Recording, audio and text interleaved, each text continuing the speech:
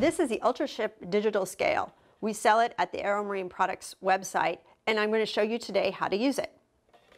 So what you want to do first is make sure that your scale has batteries. So take your UltraShip scale, turn it over.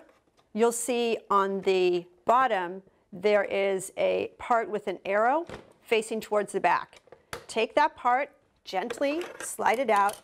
Make sure that you've got four C batteries installed.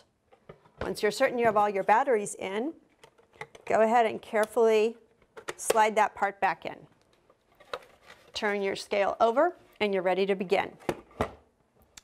So what you want to do first is press the on button and let your scale get to zero. Once it's at zero, the next thing you're going to do is choose your unit for measurement. If you'll notice on the side of your scale, there's a button that says unit.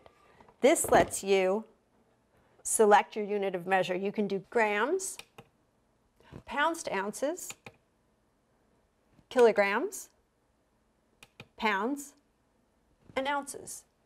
Today I'm going to have it at grams. One handy feature that the scale gives you is the hold button. So in the way that this works is you put your item on there, you get your weight, press the hold button until you see the word hold appear. You can take this off and now I can write down that it weighed 28 grams.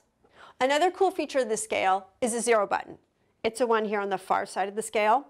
What this does is it will weigh the contents um, of the item versus just the container itself. So I'll demonstrate to have it make more sense. I put the container on there and I get a weight, 28 grams. Now I'm going to press the zero button. It zeroes it out. Now it's going to weigh just the contents for me. And those three sticks weigh 42 grams. So another handy feature of this scale is that you can remove the display from the weighing portion of the scale and um, use it to weigh large items or have the display in a more convenient location for yourself.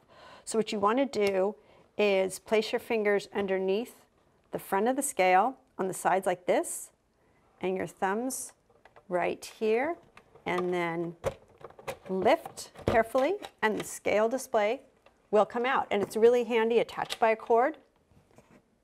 You can use it to weigh really large items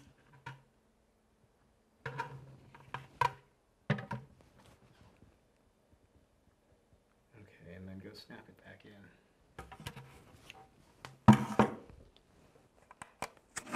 Then to replace it, you want to make sure that the cord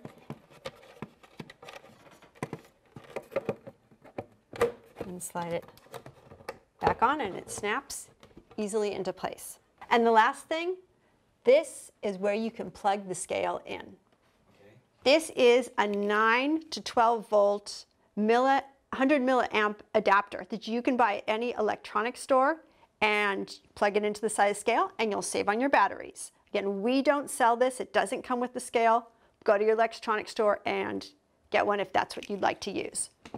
This is an excellent scale. We love it. We use it every day for measuring our products, for shipping.